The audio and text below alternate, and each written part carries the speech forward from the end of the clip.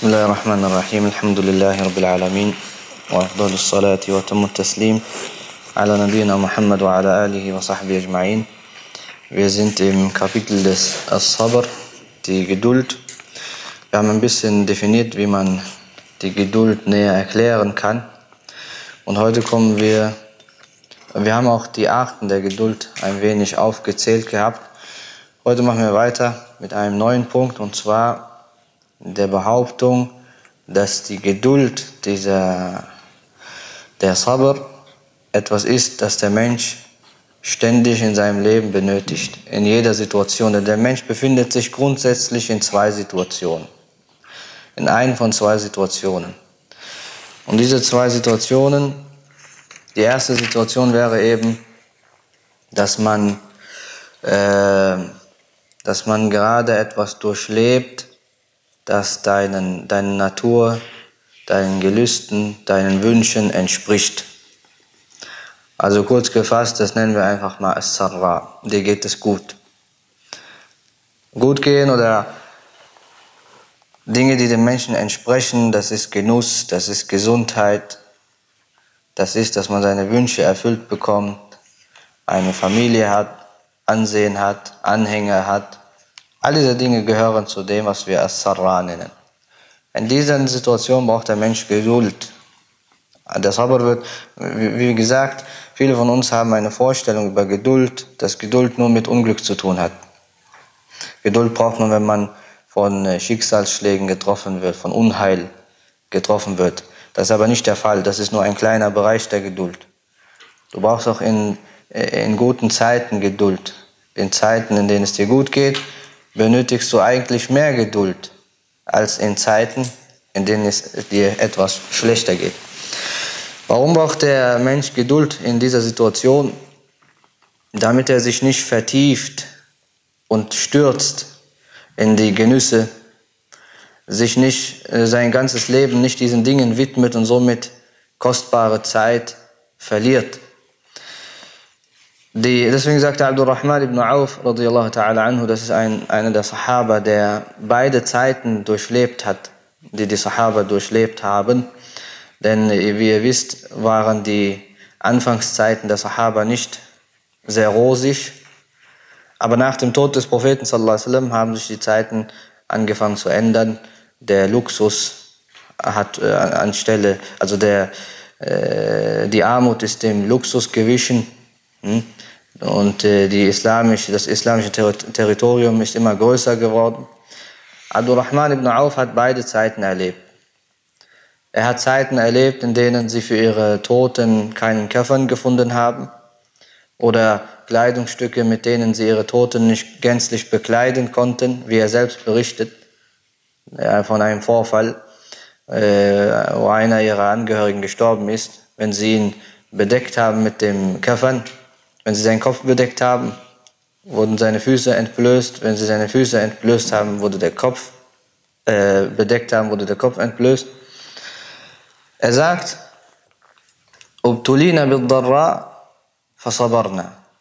Wir wurden durch harte Zeiten geprüft, durch Enge und Bedrängnis geprüft und wir waren in der Lage, zu, das mit Geduld zu ertragen. Ubtulina bis-sarra und wir wurden mit Luxus, mit Prunk, hm, wurden wir geprüft. Falam nasbir. Dies konnten wir aber nicht mehr ertragen. Und das ist tatsächlich so, dass der Mensch äh, in der Regel eigentlich standhaft sein kann in Zeiten von Bedrängnis und Enge, aber sich nicht mehr kontrollieren kann, sobald seine Hände ein bisschen, wenn, wenn die Zügel in seinen Händen ein bisschen gelockert werden. Da gibt es eine Aussage von Dostoevsky. Habt ihr schon mal von Dostoevsky gehört? Dostoevsky ist ein äh, Weltliterat, ein russischer Literat, hat viele äh, Romane geschrieben, also der gehört zu den, gehört zu den Weltromanen. Unter anderem hat er ein Buch geschrieben, in dem er Folgendes sagt, äh, in dem Buch Aufzeichnungen aus einem toten Hause. Er sagt, der Mensch ist ein Wesen, das sich an alles gewöhnt. In diesem Buch, damit ihr versteht, in welchem Kontext er das sagt, er spricht über die russischen Straflager, Arbeitslager, diese schweren Arbeitslager, in denen man eingekerkert wurde und zur, für Jahre lang eingesperrt wurde, um schwerste Arbeit zu leisten. In der Zeit der, der Kommunisten. Er sagt, der Mensch ist ein Wesen, das sich an alles gewöhnt und ich glaube, das ist die beste Definition für ihn. Ein Wesen, das sich an alles gewöhnen kann. Selbst wenn es, äh, un, wenn, un, wenn es Ungerechtigkeit ist. Der Mensch gewöhnt sich auch an Ungerechtigkeit. Also wenn er jahrelang darunter leben muss, unter Unterdrückung, er gewöhnt sich irgendwann dran. Das wird für ihn alles ganz normal. Die, seine, äh, seine Emotionen werden irgendwann abgestumpft. Also. Äh, aber in, in Bezug auf die Wonne, in Bezug auf das Glück, in Bezug auf Reichtum, ist es schwerer, den Menschen zu kontrollieren. Deswegen sagt auch Allah Ta'ala, das findest du nicht im Koran in Bezug auf Armut oder in Bezug auf Bedrängnis, findest du derartige Aussagen nicht, auch wenn davon die Rede ist. Aber zum Beispiel sagt Allah Ta'ala, Ja ayyuhalladhina amanu, la tulhikum amwalukum wa la awladukum an dhikrillah. O ihr, die Iman habt, eure, euer Vermögen, euer Hab und Gut und eure Kinder sollen euch nicht von dem Zikr Allahs ablenken, abhalten. Zikr, was heißt eigentlich Zikr? Mal nebenbei.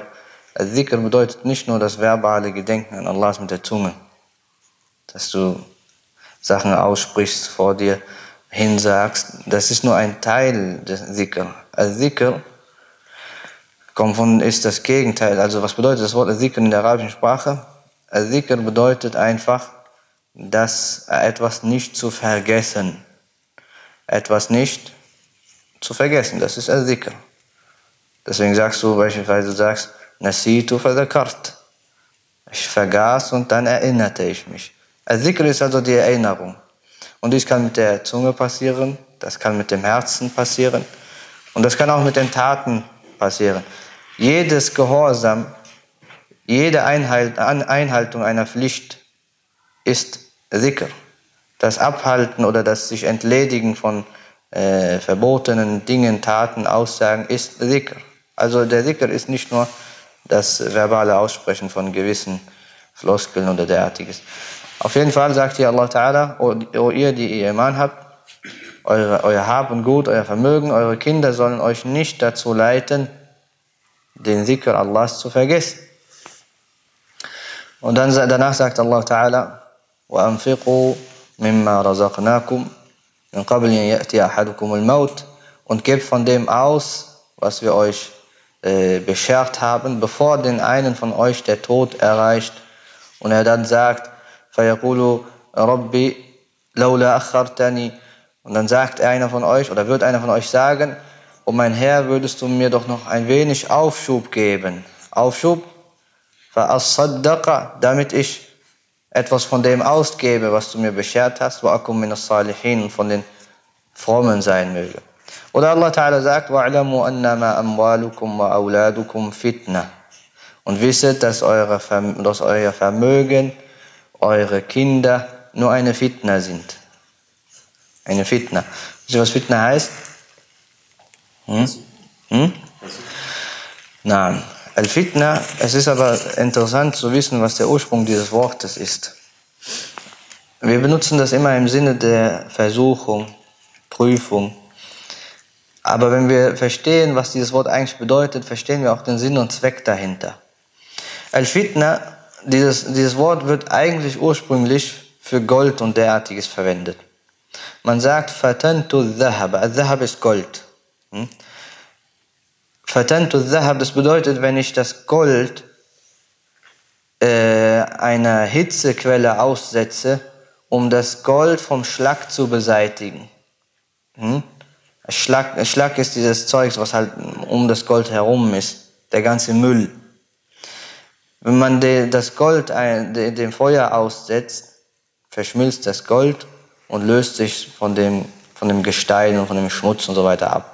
Das ist das Wort El-Fitna. Und genau das sollen diese Dinge bezwecken. Warum wird der Mensch äh, Versuchungen ausgesetzt? Warum wird der Mensch Versuchung ausgesetzt, sei das in seinem Hab und Gut oder mit den Kindern oder was auch immer? Weil hier Schlag von Gold getrennt wird. Es wird Schlag von Gold getrennt. Es gibt Menschen, die sind Gold und andere Menschen, die Schlag sind. Deswegen sagt der Prophet sallallahu alaihi nasu ma'adin. Die Menschen sind Ma'adin. Wisst ihr, was Ma'adin sind? Al-Ma'adin sind diese, diese Mineralien und diese, nicht Mineralien, diese Edelmetalle. Edelmetalle und derartiges. Gold, Silber, das nennt man Ma'adin. Er sagt, die Menschen sind wie die Ma'adin. Darunter gibt es, da findest du Schlag, da findest du reines Gold, da findest du manchmal vermengtes Zeug. So sind die Menschen auch. Allah Ta'ala sagt auch an einer anderen Stelle, innama إن من أزواجكم وأولادكم عدوا لكم فاحذروهم. طيب.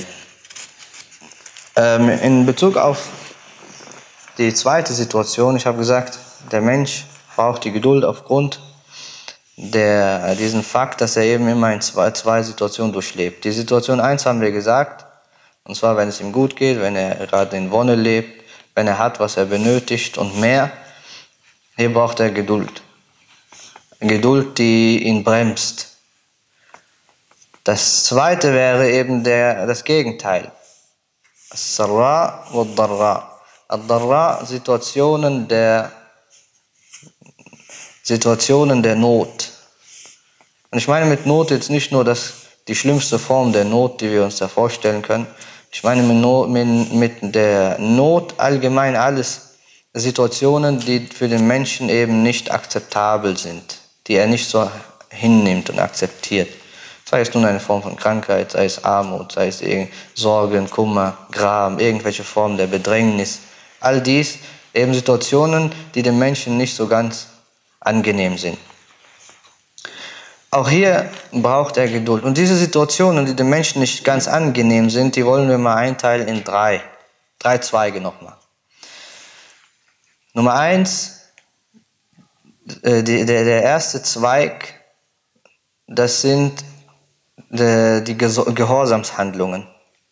Ta'at, Gehorsamshandlungen. Warum sind die den Menschen nicht angenehm? Warum sind sie den Menschen nicht angenehm? Weil der Mensch von Natur aus, also instinktiv, eher geneigt ist dazu, zur Bequemlichkeit. Er ist geneigt zur Bequemlichkeit. Und er hat auch einen Widerwillen gegen Ergebung und Unterwerfung. Und Gehorsamshandlungen, Dienerschaft beinhaltet eben das. Dienerschaft kann nämlich nur auf zwei Beinen stehen. Gehorsam steht auf zwei Beinen. Nummer eins, aktives Handeln. Das widerspricht dieser Passivität, Bequemlichkeit. Und Nummer zwei, Akzeptanz, die, zu akzeptieren, dass du ein unterworfenes äh, Wesen bist und dass du dich auch unterwirfst. Deswegen benötigt das eine Form von Geduld, Standhaftigkeit, das zu ertragen, und die Ibadat, also diese äh, Anbetungen oder Gehorsamshandlungen, werden aus zwei Gründen äh, mit etwas Widerwillen empfangen. Entweder, wie gesagt, aus, aufgrund von Faulheit, wie es, bei der Gebet, wie es bei dem Gebet ist, bei dem Gebet selbst oder bei der äh, korrekten Ausführung des Gebets, vollkommenen Ausführung des Gebets. Entweder also wegen der Faulheit oder wegen Geiz. Geiz, also sämtliche Ibadat, die mit Ausgaben zu tun haben, die verbunden sind mit gewissen Formen der Ausgaben wie die Zakah. Und manchmal vereinen sie beides, wie der Hajj. Der Hajj ähm, äh, beinhaltet nämlich Aktivität und er beinhaltet Ausgaben. Ja. Hier erwähnt er eine ganz interessante Sache noch nebenbei. In Bezug auf die Gehorsamshandlung braucht man an drei Stellen Geduld. An drei Stellen wird Geduld, also der Sabr benötigt. Vor der Ibadah, bevor man sie praktiziert, Geduld hinsichtlich der Absicht. Hinsichtlich der Niyaten, der Absichten, der Intentionen, was du damit äh, beabsichtigst, das benötigt eine Form von Geduld. Deswegen sagte Sahel ibn Abdullah Tustari, eine bekannte Person, ein großer Name in der Gelehrsamkeit des Islams. Er sagte, es gibt nichts, was dem Menschen schwerer fällt als der Ikhlas in den Absichten. Aufrichtigkeit in den Absichten. Warum?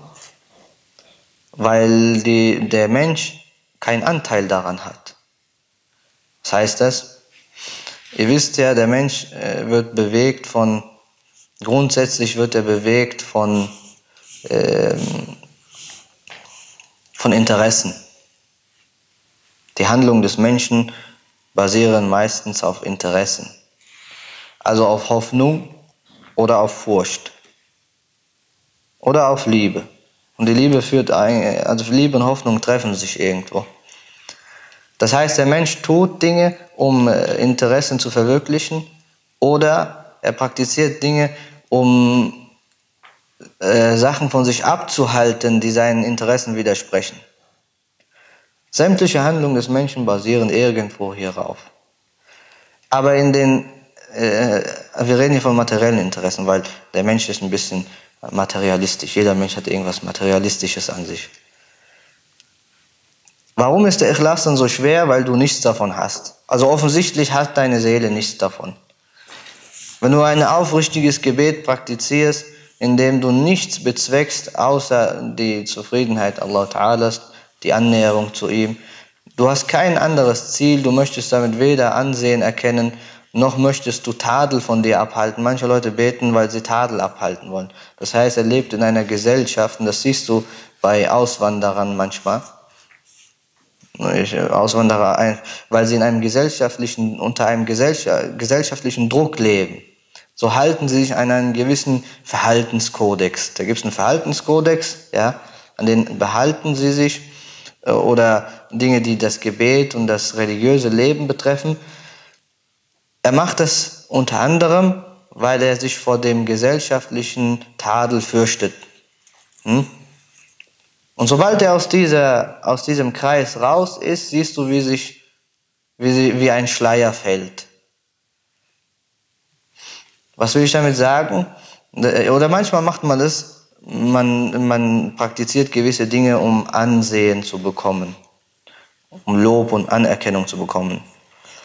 Wir haben vielleicht schon mal erwähnt, dass ähm, der Mensch genauso wie ein Verlangen nach materiellen, also nach fassbaren Dingen hat, sei es Geld, Häuser, Autos, hat er auch ein Verlangen nach, das ist auch ein materieller Aspekt, ich nenne es mal so, auch wenn es nicht fassbar ist, es ist etwas Immaterielles, aber Ansehen. Ansehen, Anerkennen, Lob. Hm. Äh, in der Mitte, in der Mitte stehen zu wollen oder an der Spitze des Berges, damit alle Finger auf ihn zeigen. So ein Verlangen ist auch irgendwo immer da im Menschen, aber bei manchen Menschen kommt es nicht so zum Vordergrund, weil sie von Anfang an ihre Unfähigkeit erkennen. Sie merken, äh, also es gibt keine Wege dahin. Dann lässt man es sein. Ähm, Yusuf ibn Hussein al-Razi, er sagte, das Schwierigste in der Dunya, die schwierigste Handlung in der Dunya ist der Ikhlas. Und wie oft strenge ich mich an, den Ria aus meinem Herzen fallen zu lassen, aber er wächst immer wieder irgendwo nach. Der Ria, diese Augendienerei, die dem äh, ähm, Ikhlas eben widerspricht. Das ist die erste Geduld, die er braucht vor der Ibadah in Bezug auf die Absichten. Weil die Absicht ist ausschlaggebend für, die Absichten sind ausschlaggebend für das Ausmaß deiner Tat, für die Legitimität deiner Tat und für ihre Korrektheit. Deswegen sagte der Prophet in diesem bekannten Hadith, Innama al-A'malu binniyat. Die, die Taten sind bemessen nach ihren Absichten. Sind bemessen nach ihren Absichten. Die zweite Geduld, die er benötigt, ist während der Ibadah, während er die äh, Gehorsamstat praktiziert. Und zwar, dass er während der Praxis, während der Ausführung der Tat nicht das eigentliche Ziel aus den Augen, aus den Augen lässt. Und das ist auch ein Problem, das äh, leider Realität ist, dass viele Handlungen der Ibadah reine Angewohnheiten sind. Weißt du, wenn du eine Angewohnheit hast, Gewohnheiten, manchmal, also man verwechselt hier zwei Dinge manchmal. Ähm, nennen wir das eine Mal Gewohnheit und das andere nennen wir ein gewisses Bewusstsein, ein Bewusstseinsempfinden in Bezug auf die Ibadat. Manchmal ist es so, du hast eine Gewohnheit, du praktizierst etwas schon seit längerer Zeit und wenn es mal fehlt, wenn es mal ausfällt, hast du das Gefühl, dass etwas fehlt, dass dir etwas fehlt. Oft ist es so, dass die Ibadat ebenfalls bei den Menschen zu so etwas werden. Also das sind nur noch so, es sind Hüllen, denen die Seele eigentlich fehlt, so dass wie ein Körper ohne Seele.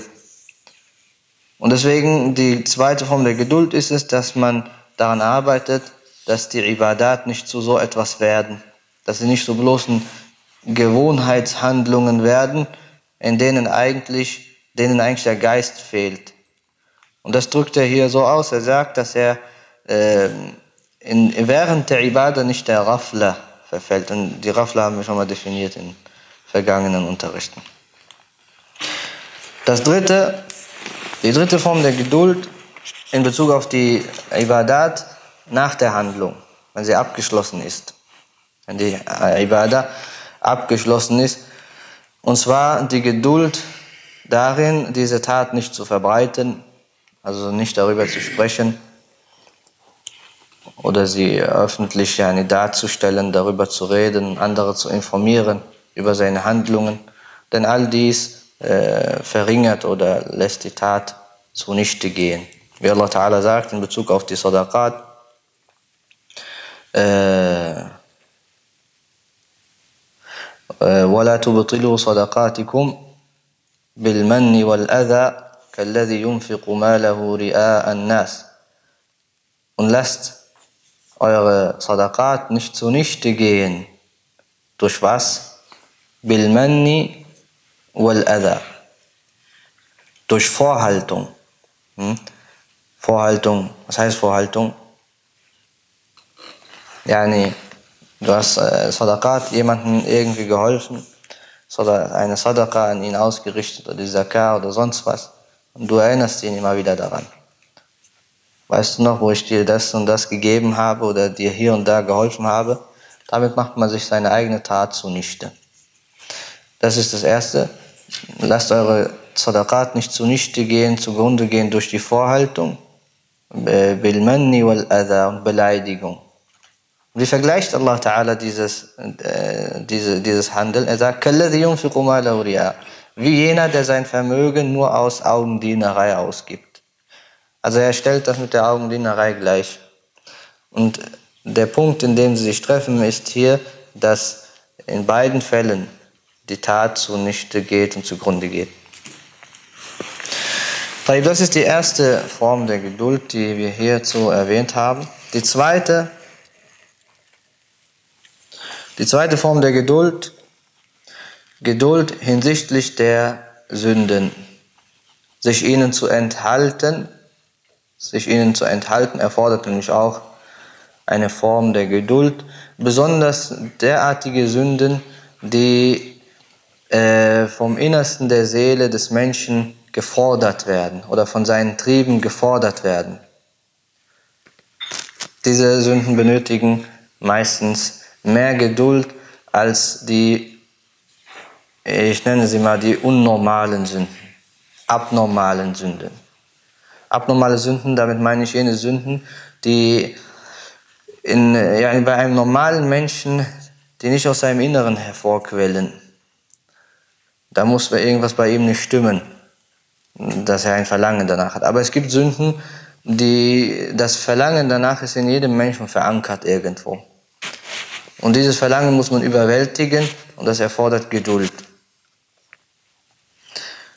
Und jedes Mal, wenn das Begehen der Sünde leichter ist, umso leichter das Begehen der Sünde ist, umso mehr Geduld wird er benötigt. Es gibt ein Körperglied im Menschen, das sehr schnell Sünden begehen kann, ohne irgendein Hindernis, beispielsweise die Zunge. Der Zunge kann man äh, Unmengen von Fehltritten begehen Unmengen von Schaden anstellen. Äh, äh, einer der Sprachwissenschaftler, ich glaube Ibn Yunus war das, äh, wisst ihr, das Wort, das Wort Wort im Arabischen heißt Kalima. Kalima heißt Wort. Er sagte, das Wort wurde nur Wort genannt. Also das hat mit der Ableitung dieses Begriffes zu tun. Er sagt, das kommt aus dem Begriff Kalmun. Kal. Er hört vielleicht auch eine Gemeinsamkeit. Kalima, Kalm. Beide haben die Buchstaben Ka, La, Mim. Kaf, La, Mim. Was bedeutet denn Kalm? Kalm heißt verletzen, Verletzung, Verletzungen verursachen. Er sagt, die Wörter wurden nur Wörter genannt, weil sie Verletzungen verursachen können. Ähm, und der Prophet sagt in einem Hadith, äh, er sagte, der Mensch oder der Diener Allah sagt manchmal ein Wort, sagt Wörter, denen er, keinen, denen er keine, keine Achtung beimisst. Also sie sind was ganz Kleines für ihn. Er fällt wegen ihr, wal Maghrib. Er fällt wegen ihr, wegen dieser Worte, tiefer als die Entfernung zwischen Westen und Osten. Jedes Mal, wenn die Sünde leichter zu begehen ist, wird auch mehr Geduld gefordert. Dann gibt es die dritte Art der Geduld, und zwar hinsichtlich von Dingen, die, zu denen der Mensch, äh, die nicht vom Mensch kontrollierbar sind oder die nicht durch ihn verursacht werden. Dazu gehören dann eben die Schicksalsschläge, das Unheil, das die Menschen trifft. Da, darüber du nämlich keine Kontrolle oder meistens keine Kontrolle. Und hier wird auch Geduld erfordert, wie zum Beispiel das Versterben von Angehörigen oder das Verlieren von Vermögen, das Erblinden, das Verlieren der Gesundheit. Und derartiges, all dies benötigt auch Geduld und die Geduld in diesen Dingen ist ein Beweis für Überzeugung, für die Überzeugung. Überzeugung, äh, weil der Prophet sallallahu sagte, das unterscheidet auch einen Mu'min von einem Nicht-Mu'min. Ein, äh, also wir reden hier von einem Mu'min, der das auch durchlebt und über diese Überzeugung sich trägt. Der Prophet sallallahu sagte in einem Hadith, Ma akhta'ak lam yakun liyusibak, wa ma asabak das, was dich getroffen hat, könnte dir nicht entgehen, das könnte nicht an dir vorbeigehen. Und was an dir vorbeigegangen ist, das könnte dich nicht treffen. Also das heißt, der Mu'min nimmt das mit einer gewissen Gleichgültigkeit auf und bleibt dadurch auch standhafter. Wobei das in den in anderen Nationen, denen diese Überzeugung fehlt, da durchleben sie das ein bisschen anders. Depressionen werden Depre mm, von Depressionen äh, heimgesucht, von Verzweiflungen, bei kleinsten Sachen, bei kleinsten Schäden, bei kleinsten Unheilsformen fallen sie zusammen. Prophet sagt in einem Hadith, Man yuridillahu bihi khayran yusib min. Wenn Allah einen Menschen begünstigen will, macht er, macht er es, indem er ihm eine Härte auferlegt. Und dazu gehört es auch, zu dieser Kategorie gehört es auch, geduldsam die Äußerungen der Menschen zu ertragen, ihr Verhalten dir gegenüber zu ertragen mit Geduld. Weißt du, was das bedeutet? Was bedeutet es, geduldig zu sein im Umgang mit den Menschen? Dass man nicht immer dass man nicht immer darauf aus, äh, ausgelegt ist auf Wiedervergeltung. Dass, dass man nicht nach dem Prinzip lebt der Wiedervergeltung. So wie du mir, so ich dir. Deswegen sagt Allah Ta'ala, das ist ein ganz interessanter Punkt, ne? besonders für jemanden, der in der Da'wah beschäftigt ist, der, der mit den Menschen diskutiert, mit ihnen spricht, Äh, als Luqman zu seinem Sohn sagte, er sagte, Ja Bunay, Aqim salah mein Sohn, verrichte das Gebet, wa'mur bil ma'ruf, wanha anil munkar und gebiete das Gute an, gebiete das, den Menschen das Gute an und verbiete ihnen das Schlechte. Und das ist das Schlimmste für einen Menschen, was du machen kannst. Warum? Also für dein Gegenüber. Wenn er nicht besonnen ist. Wenn er nicht besonnen ist, dann ist das für ihn das Schlimmste, was du machen kannst, dass du ihm sagst, was er zu tun hat und was er nicht tun soll. Denn du, du, du, du kreuzt seinen Weg. Du kreuzt seinen Weg. Er möchte etwas machen, du hinderst ihn. Er möchte etwas nicht machen, du drängst ihn dazu, es zu tun. Also drängen im Sinne, dass du ihm, ihm das auferlegst. Das ist nicht akzeptabel für die meisten Menschen und das hat dann Folgen, Beschimpfungen, Beleidigungen, Kränkungen und derartiges. Deswegen sagt er danach, also ganz, ration, ganz logische Folge, nachdem er ihm das anbefohlen hat, sagt er, wasbir ala ma asabak und sei geduldig, harre geduldig aus hinsichtlich dem, was dich trifft, infolge von dem Al-Amr bil Ma'ruf und Nahi an Munkar. Auch ein ganz interessanter Vers, äh, eine andere Stelle, in der Allah Ta'ala sagt, Inna nahnu nazzalna alayka al-Qur'ana tanzila. Wir haben dir den Koran offenbart. Also Allah Ta'ala erinnert den Propheten wasallam an eine Gnade, die er ihm erwiesen hat. Wir haben dir den Koran offenbart. Der Vers ist noch nicht zu Ende. Was könnte jetzt, jetzt könnte man sich denken, hm, hier wird eine Gnade erwähnt, also wird der nächste Vers sein oder die Vervollständigung des Verses, also sei dankbar oder bedanke dich. Hm? Aber das ist nicht der Fall. Allah Ta'ala sagt dann was ganz anderes. Er sagt, Fasbir. Wir haben dir den Koran offenbart, Vervollständigung des Verses, also sei geduldig. Weil der Koran, der Umgang mit die Umsetzung des Korans, die Umsetzung des Korans ins, ins reelle Leben, der Aufruf der Menschen zur Umsetzung des Korans, all das erfordert Geduld vom Menschen.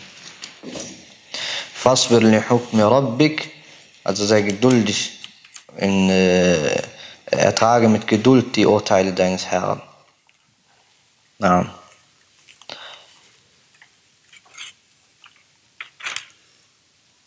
Na. Abgesehen davon gibt es einige Ahadith in Bezug auf die Vorzüglichkeit der Geduld. Äh, unter anderem der bekannte Hadith, in dem der Prophet sagte, Ma min musibatin tusibu muslim illa kaffara Allahu bihi an khataya. Es gibt kein Unglück, das den Muslim trifft, außer dass Allah Ta'ala durch dieses Unglück seine Sünden tilgt. Und in einer längeren Version dieses Hadith sagt der Prophet sallallahu alaihi wasallam, den Muslim trifft kein Unheil. Und dann nennt er einige Formen des Unheils. Min wasab oder nasab. Wasab ist Krankheit. Nasab Erschöpfung. Ham Sorgen. Hasan Trauer. Gram. Kränkung. Kränkung durch andere Menschen. Sogar, er sagt, sei es auch nur der Dorn einer Pflanze, der ihn trifft, illa kaffar Allahu biha min khataya. Außer dass Allah Ta'ala durch diese Sorgen, durch diese Kränkung, durch dieses Unheil, das ihn trifft, seine Sünden tilgt. Da gibt es eine bestimmte, das Thema mit dem Unheil hat, äh, ist ein komplexes Thema in der Theologie. Das, das nennt sich die Frage, der, die, die Theodozie-Frage oder so. Theodozie, Theodozie, die Frage nach dem Unheil. Warum es das Unheil gibt. Ich glaube, man nennt das in der Theologie Theodozie oder Dozie-Frage. Weiß nicht mehr ganz genau. Ähm, in einem anderen Hadith sagt der Prophet sallallahu alaihi wasallam, لا يزال البلاء بالمؤمن أو المؤمنة في جسده وفي ماله وفي ولده حتى يلقى الله وما عليه من خطيئة. Das Unheil verfolgt den Mu'min oder die Mu'mina in, in, in seinem Körper, in seinem Vermögen, in seinen Kindern, bis er so lange, dass er auf Allah trifft und keine Sünde an sich trägt. In der Hadith von Sa'id ibn Abi Waqqas wurde der Prophet sallallahu alaihi wasallam gefragt, oder er, sah, er fragte ihn, er sagte. Welche Menschen werden am meisten heimgesucht vom Bala, vom Unheil? Er sagte. Die Anbiya, die Propheten, und dann die Frommen unter seiner Umma. Und dann sagt er. Und danach sagt er. Der Mensch wird entsprechend seiner Festigkeit im Dien geprüft. Wenn er im Dien, im Dien standhaft und fest ist, wird seine Prüfung yani, schwieriger gemacht. Ist er schwach, wird sie gelindert. Das sind einige Texte in Bezug auf die Vorzüglichkeit des äh, Sabr. Danach geht es mit einem neuen Abschnitt weiter die Adab des Sabr. Also wie, was, wie benimmt man sich in der Geduld oder was heißt das? Welches Benehmen sollte man sich als, als ein Mensch mit Geduld aneignen? Benehmensformen sind immer die Dinge, die eine Tat, ein Auftreten, eine Aussage schöner machen. Das machen wir aber inshallah das nächste Mal. Wann haben wir angefangen? تونسنا طيب لما هم يشلوس وآخر دعوانا الحمد لله رب العالمين.